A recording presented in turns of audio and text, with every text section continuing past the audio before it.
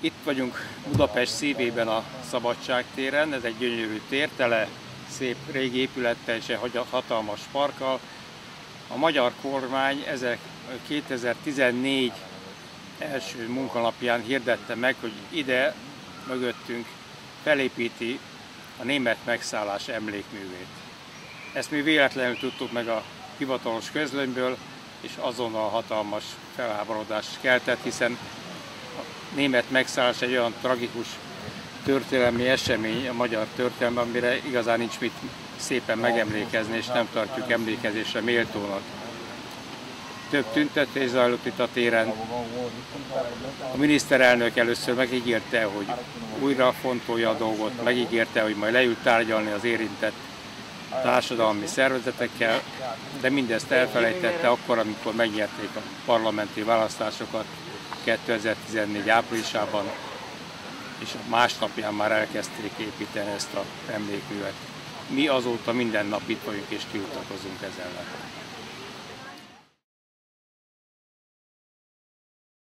Magyarországon 2010 óta egy olyan populista, nacionalista, magát jobboldalinak definiáló kormány van, amelyet Orbán Viktor miniszterelnök vezet, amely gyakorlatilag nem egy középjobb, amely Európában ismert eh, politikai vonal, hanem egy szélső jobb, egy erősen rasszista bélyegeket hord és erősen idegengyűlölő vonásokat.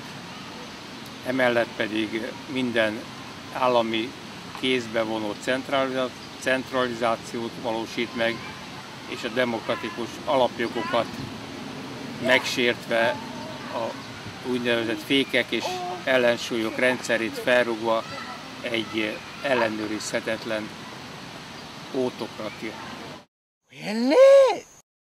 Orbán Viktor által vezetett kormánynak két fő célja van, és ez nagyon világos.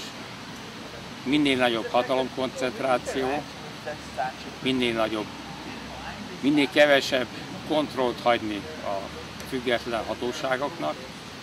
Ebből az következik, hogy megszűnt a független ügyészség, nincs aki a különböző politikai bűnözőket számon kérje, nincsen független sajtó, mondhatni nagyon kevés, 95% vagy nagyobb százalékban a rádió, televízió, nyomtatott sajtó.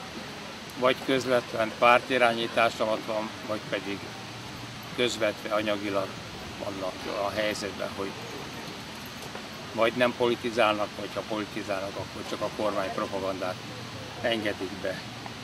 Így módon az emberek tájékozatlanok, főleg vidéken, ahol a elektronikus médiának a kevesebb az elérése, csak a úgynevezett kistári televízió, tehát a közszolgáltatónak nevezett televízió műsorát nézik, a közszolgáltatói rádiót nézik, ezek mind az állami propaganda eszközei. Gyakorlatilag a hatalomkoncentráció az egyik cél, a másik pedig ennek segítségével anyagi javakat magukévá tenni, gyakorlatilag magán, magánosítani az állami vagyon. Ez abból is látszik, hogy a Magyar Nemzeti Bank, ez a szép épület itt a Magyar Nemzeti Bank, ez a Bank Nationalisi, e, és annak a gazdálkodását is már magán zsebekbe forgatják. Tehát az állami, a Nemzeti Banknak a megtakarításait magán, magán alapítványokba rakják át ezen kívül az Európai Unióból származó különböző pénzügyi támogatásoknak nagyon nagy hányada az a klientúra, a kormányhoz hű, a párthoz hű klientúra zsebébe vándorol. Tehát itt egy politikai koncentráció és az anyagi erőknek a koncentráció zajlik egyszerre.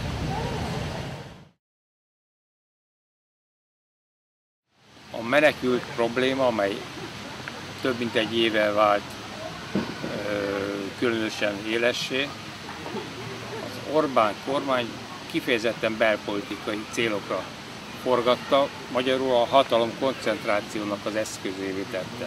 Ahelyett, hogy európai megoldást szorgalmazna menekültek helyzetének javítására, vagy az egész kérdéskörnek a normalizására, Ehelyett egy olyan eszköz látott ebben a társadalmi feszültségben, amelyel a magyar népnek a elég széles körben érezhető xenofóbiáját, idegen gyűlöletét megerősítve a saját hatalmi pozícióját igyekszik és igyekszik mai napig is megerősíteni.